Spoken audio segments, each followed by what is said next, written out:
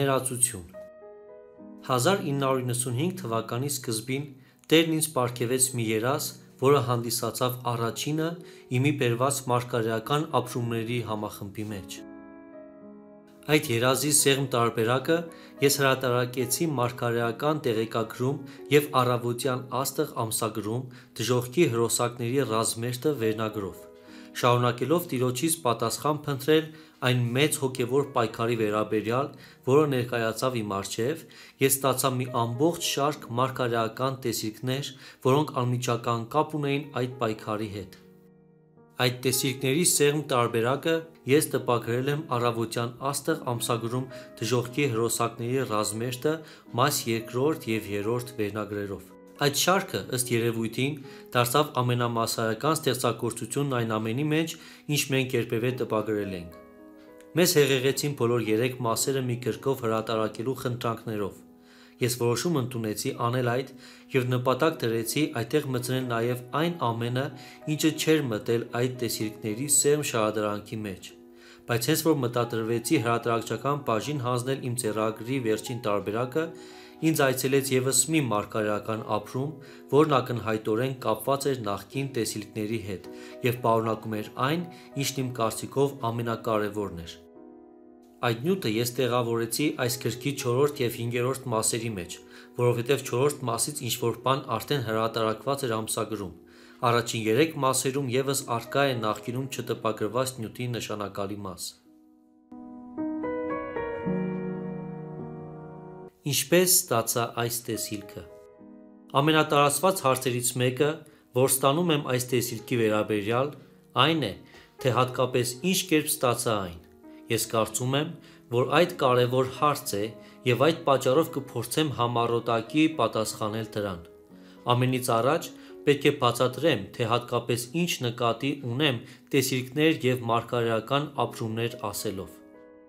Մարգարեական ապրումները, ինչպես ես անվանում եմ դրանք, բազմաթիվ են և տարաբնույթ։ Դրանք իրենց մեջ ընդգրկում են Աստվածաշնչում ներգրավված այն բոլոր հիմնական միջոցները, որոնցով Տերը շփվել է Իր ժողովրդի հետ։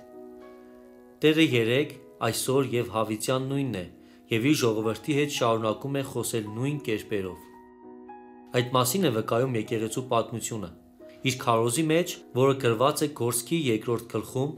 Պետրոս առաքյալը բացատրում է, որ տեսիլքները, երազներն ու մարգարեությունները հանդիսանում են վերջին օրերի և Սուրբ Հոգու հեղման հիմնական նշանները, քանի որ մենք, ամենայն հավանականությամբ, մոտենում ենք այս դարաշրջանի վերջին, ապա նմանատիպ դրսևորումները դառնում են ավելի տարածված։ Պատճառներից մեկը, որոնցով այս երևույթները ձեռք են բերում լայն թափ, այն է, որ դրանք մեզ անհրաժեշտ են այս ժամանակների մեջ մեր առջև դրված խնդիրներն իրականացնելու համար։ Ճշմարիտ է այն, որ սատանան ևս, որը խոսքը գիտի, ցավոք սրտի, ավելի լավ, քան շատ քրիստոնյաներ, հասկանում է մարգարեական հայտնության նշանակությունը Աստծո և Իր ժողովրդի միջև հարաբերություններում։ Այդ պատճառով նա իր հերթին մեծ չափով իր կեղծ պարգևներն է հեղում նրանց վրա, ովքեր ծառայում են իրեն։ Սակայն չէր կարող հայտնվել որևէ կեղծիք, եթե այդ երևույթը գոյություն չունենար իրականում, ինչպես, օրինակ գոյություն չունի երեք դոլարանոց կեղծ դրամանիշ, քանի որ այդպիսի դրամ գոյություն չունի իրականում։ 1972 թվականին, իմ քրիստոնյա դառնալուց ոչ շատ անց, ես կարդացի Գործքի երկրորդ գլխի այդ հատվածը և հասկացա, որ եթե շուտով պիտի հասնեն վերջին ժամանակները, ապա մեզ անհրաժեշտ է հասկանալ այն բոլոր միջոցները, որոնցով Տերը կխոսի մեր հետ։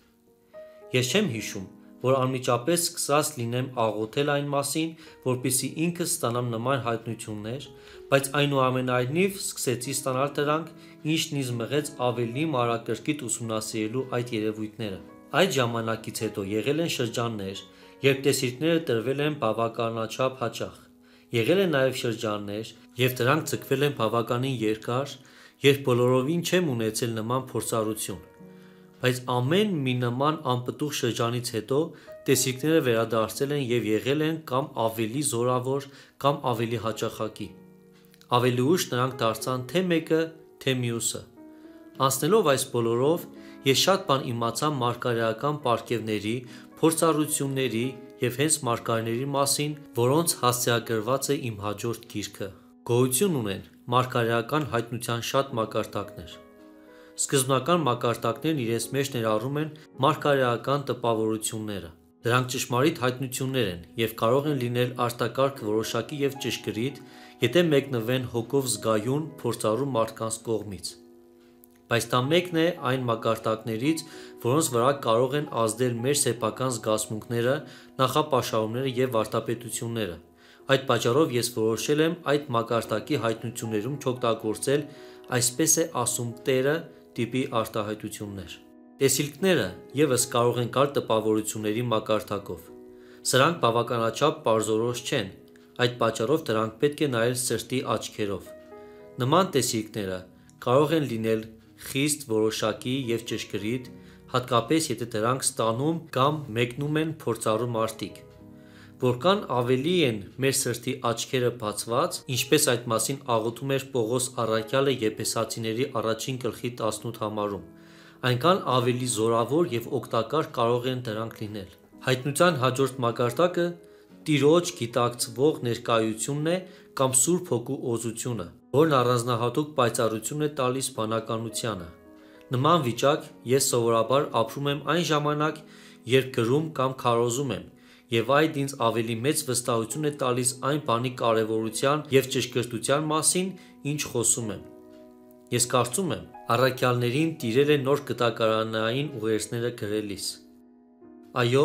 դա մեզ տալիս է վստահություն, բայց այդուհանդերձ դա դեռևս այն մակարդակն է, որտեղ մեզ վրա կարող են ազդել մեր նախապաշարումները, վարդապետությունները և այլն: Ես հավատում եմ, որ Պողոսը հատկապես այդ պատճառով է երբեմն գրել, թե ինքն այստեղ արտահայտում է իր սեփական կարծիքը, եթե հավատում է այդ բանին, որ այդ առթիվ ունի Սուրբ Հոգու համաձայնությունը: Ընդհանրապես դավանությունից ավելի մեծ չափով հեզություն պետք է ունենանք մենք, երբ գործ ունենք մարգարեական երևույթների հետ: Հստակ տեսիլքները լինում են տպավորություններից ավելի բարձր մակարդակների վրա: Այդ դեպքում մենք ունենք ավելի պարզություն, քան Տիրոջ գիտակցվող ներկայության կամ օծության ժամանակ: Հստակ տեսիլքները գալիս են դրսից և դրանք տեսնում ենք էկրանային արտապատկերման ճշգրտությամբ: Քանի որ նման տեսիլքները չեն կարող վերահսկվել մեր կողմից, ես հավատում եմ, որ այստեղ ավելի քիչ հնարավորություն կա խառնելու իրական տեսիլքն ու մեր սեփական հայացքները: Մարգարեական փորձառության ևս մի բարձր մակարդակ է հանդիսանում տրանսը կամ հափշտակությունը: Նման բան տեղի ունեցավ Պետրոսի հետ, երբ մտավ հափշտակության մեջ և ցուցում ստացավ գնալ Կոռնելիոսի տունը, որպեսզի առաջին անգամ ավետարան քարոզի հետանոսներին: Նույնը կատարվեց Պողոսի հետ, երբ աղոթում էր տաճարում, Գործքի 22-րդ գլխում: Տրանսները տարածված երևույթ են աստվածաշնչյան մարգարեների մոտ: Տրանսը դա երազ է արթուն հսկելիս: Էկրանը դիտելու փոխարեն, ինչպես լինում է հստակ տեսիլքի ժամանակ, դուք ձեզ որպես թե զգում եք ինչ-որ ֆիլմի մասնակից, կարծես թե իսկապես այդտեղ եք ընկել ամենաաներևակայելի ձևով: Տրանսները տարատեսակվում են միջին աստիճաններից, որի դեպքում դեռ կարող եք զգալ ձեր ֆիզիկական շրջապատը և նույնիսկ ի վիճակի եք արձագանքել նրան, մինչև այնպիսիք, որոնց դեպքում ձեզ տառացիորեն զգում եք ձեր տեսիլքի միջավայրում: Ես կարծում եմ, որ հենց այդպիսի փորձառություն հաճախ էր իր վրա կրում Եզեկիելը և հավանաբար հենց այդ ձևով է Հովհաննեսը ստացել իր տեսիլքները, որոնք գրված են Հայտնության գրքում: Այս գրքում զետեղված տեսիլքները սկսվել են երազից: Նրանցից մի քանիսը կատարվում էին Տիրոջ ներկայության խիստ ուժեղ զգացողությամբ, բայց տեսիլքների ճնշող մեծամասնությունը ստացվել է տրանսի մակարդակով: Նրանց մեծամասնությունը եղել այն մակարդակով, որտեղ ես դեռևս գտնվում էի լիակատար գիտակցությանս մեջ և նույնիսկ կարող էի արձագանքել իմ շրջապատին, ինչպես օրինակ կարող էի պատասխանել հեռախոսազանգերի: Բայց ամեն անգամ, երբ նորից նստում էի իմ տեղը, անմիջապես վերադառնում էի իմ տեսիլքի մեջ ճիշտ այնտեղ, որտեղ այն ընդհատվել էր: Մի անգամ ապրումները դարձան այնքան ուժգին, որ վեր կացա և դուրս եկա աղոթքի սենյակից, որը գտնվում էր բարձր լեռներում և ուր գնացել էի փնտրելու Տիրոջը և անմիջապես գնացի տուն: Մեկ շաբաթ անց նորից եկա այնտեղ եւ համայրա ակնթարթորեն հայտնվեցի տեսիլքի այն նույն տեղում, որ թողել էի անցած անգամ։ Ես երբեք չեմ իմացել, թե ինչպես միացնեմ նման տեսիլքները, բայց համայրա միշտ ունեցել եմ ազատություն անջատելու այն ըստ իմ ցանկության։ Երկու անգամ այս տեսիլքի մեծ հատվածներ ինձ այցելել են ըստ իս ամենաանհարմար ժամանակ, երբ գնում էի աղոթքի սենյակ ավարտելու համար մի կարևոր աշխատանք, որը ոչ մի կերպ ենթակա չէր հետաձգելու։ Այդ պատճառով մեր ամսագրի երկու համար լույս տեսան որոշ ուշացումով և իմ վերջին գիրքն էլ, որ լույս տեսավ վերջերս մտադրվել էր հրատարակել մի քանի ամիս առաջ։ Բայց Տիրոջը, ինչպես երևում է, շատ չեն հուզում մեր նշանակած սահմանային ժամկետները։ Երազով և տրանսի ժամանակ ես ստացել եմ այն, ինչը համարում եմ հսկայական կարևորության պարգևներ, մասնավորապես հոգիների զանազանության պարգև և գիտության խոսք։ Երբեմն, երբ նայել եմ որևէ մարդու և կամ աղոթել որևէ եկեղեցու կամ պաշտամունքի համար, անմիջապես ստացել եմ գիտություն նրանց վերաբերվող որոշակի փաստերի մասին, որոնք մինչ այդ նույնիսկ չէի կասկածում։ Նման մարգարեական ապրումների ժամանակ այդ պարգևներն իմ մեջ գործում էին այնպիսի բարձր մակարդակով, ինչպիսին ես անձամբ չեմ իմացել իմ իրական կյանքում։ Օրինակ, այս տեսիլքի մեջ ես կարող էի նայել չարի բանակի որևէ գումարտակի և անմիջապես լրիվ տեղեկություն էի ստանում նրա մարտավարության և հնարավորությունների մասին։ Ես չգիտեմ, թե ինչ ձևով էր այդ գիտությունը տրվում ինձ, պարզապես ես գիտեի այդ, ընդ որում ամենաաննշան մանրամասներով։ Երբեմն ես կարող էի միայն նայել որևէ մեկին և նույն պահին արդեն գիտեի նրա անցյալը, ապագան և ներկան։ Ես անհրաժեշտ չեմ համարել այս գրքում շատ տեղ հատկացնել այն բանի նկարագրությունը, թե հատկապես ինչ ձևով էին ինձ հասնում այդ տեղեկությունները, այդ պատճառով դրանց մասին գրել եմ միայն որպես եղած փաստեր։ Մարգարեական հայտնությունների օգտագործումը Ուզում եմ հատուկ ընդգծել, որ չեմ հավատում այն բանին, թե մարգարեական հայտնության թեկուզ որևէ տարատեսակ տրվում է վարդապետություն սահմանելու համար։ Դրա համար մենք ունենք Սուրբ Գիրքը։ Գոյություն ունի մարգարեության երկու հիմնական նշանակություն։ Առաջինը,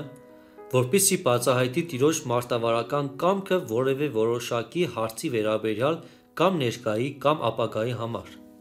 Դրան օրինակ կարող է ծառայել Պողոսի երազը, ըստ որի նա պետք է ուղևորվեր Մակեդոնիա, ինչպես նաև մտքի այն հափշտակությունը, որտեղ նրան ասվեց անմիջապես թողնել Երուսաղեմը։ Նման հայտնության ևս երկու օրինակ մենք գտնում ենք Ագաբոսի ծառայության մեջ։ Առաջին հայտնությունն ասում էր այն սովի մասին, որ պիտի գար ողջ աշխարհի վրա։ Վերջինը վերաբերվում էր Պողոսի ժամանմանը Երուսաղեմ։ Մենք նաև տեսնում ենք, որ նմանատիպ հայտնություններ տրվում էին նաև որոշակի վարդապետության պարզաբանման համար, որն արդեն կար Սուրբ գրքում, սակայն որոշակիորեն չէր զանազանվում ժամանակակիցների կողմից։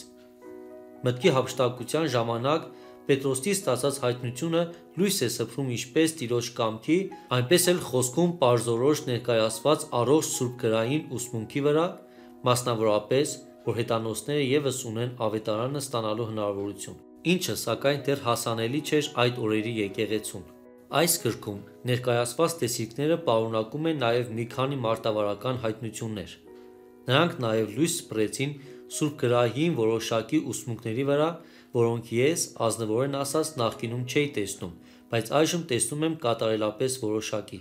Եվ այնուամենայնիվ, մեծամասնությունն այս ուսմունքներից, որոնց վրա լույս է սփռվել այս ապրումների ընթացքում, ես իմացել և սովորեցրել եմ երկար տարիներ թեև չեմ կարող ասել, որ դրանցով իսկապես ապրել եմ այդ տարիների ընթացքում։ Շատ անգամ ես խորհել եմ Պողոսի այն ուսմունքի վրա, որով նա Տիմոթեոսին հորդորում էր ուշադրություն դարձնել իր իսկ սեփական վարդապետություններին։ Այդ ապրումների ժամանակ ինձ ասված խոսքերից շատերն ինքս շատ անգամ օգտագործել եմ իմ ուսմունքներում։ Ես գիտեմ, որ հաջողակ չեմ եղել այն բանում, որpիսի գործնականում արժանավորապես կիրառեմ իմ սեփական վարդապետությունները, Այդ պատճառով դրանցից շատերն անձամբ ինձ համար լինում էին մերկացումներ և հնչում էին որպես կշտամբանք։ Բայց ես նաև զգում էի, որ դրանք ուղերձներ էին շատերի համար, այդ պատճառով մտցրեցի այս գրքի մեջ։ Ոմանք ինձ համոզում էին այս գիրքը գրել այլաբանության տեսքով երրորդ դեմքով, ինչպես քրիստիանոսի ճանապարհորդությունը, սակայն ես դեմ էի դրան մի քանի պատճառներով: Ամենից առաջ ես զգում էի, որ ոմանք այդ կընկալեն որպես իմ սեփական ստեղծագործության արդյունք, սակայն դա սխալ կլիներ: Ես շատ կուզենայի լինել այդքան ստեղծագործական, բայց այդպիսին չեմ: Հաջորդ պատճառն այն է, որ ես կլինեմ ավելի ճշգրիտ, եթե ամեն բան փոխանցեմ այնպես, ինչպես այն ստացել եմ: Եվ ես ջանք եմ արել որքան հնարավոր է ավելի լավ փոխանցելու բոլոր այդ ապրումները, ճիշտ այնպես, ինչպես դրանք ընկալվել են իմ կողմից: Այնուամենայնիվ, իմ մեծագույն տկարությունն եմ համարում ոչ այնքան լավ հիշողությունն այն դեպքերում, երբ հարցը վերաբերվում է դետալներին ու մանրամասներին: Երբեմն ես կասկածի տակ էի առնում իմ սեփական հիշողություն այդ տեսիլքների առանձին մանրամասների նկատմամբ: Այդ պատճառով դուք ազատ եք վարվելու նույն կերպ: Կարծում եմ, որ սա կարող է վերաբերվել նման ուղերձներից ցանկացածին: Միայն Ս. Գիրքն է արժանի համարվելու անսխալական: Աղոթում եմ, որպեսզի այս գրքի ընթերցանության ժամանակ Ս. Հոգին տանի ձեզ դեպի ճշմարտությունը և օգնի ձեզ ճշմարիտ ցորենից առանձնացնելու բոլոր որոնները, որոնք կարող են այստեղ գտնվել: